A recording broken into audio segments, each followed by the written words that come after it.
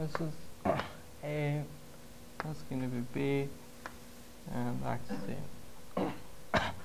the question is to find the unknown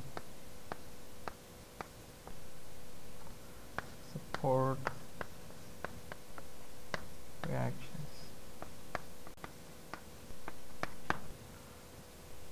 So we, we're looking at finding the unknown forces at point A, that's a fixed support, and at point C, that's a roller.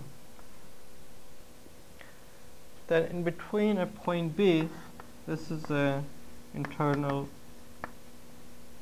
hinge.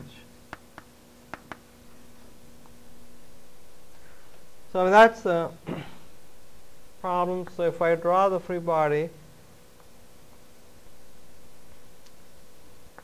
and that's point A, that's point B, and that's point C. And we start looking at, let's say, the reactions, then there'll be reaction AX, there's going to be a reaction AY, and it's a fixed support. So add a couple which is unknown, and that's going to be, let's say, MA. Then you have C, that's a roller, you're to place another reaction, plus you have a force here, that's 2500 Newton. So that's just the direct free body diagram for this problem.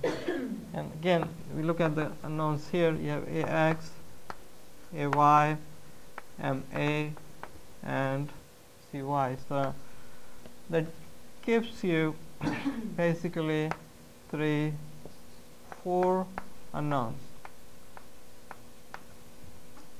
or four unknown forces and you only have three equations of equilibrium. So the way I've drawn the free diagram, you really have more unknowns than the equations. But we can use the logic I just described, which means we look at each component by itself.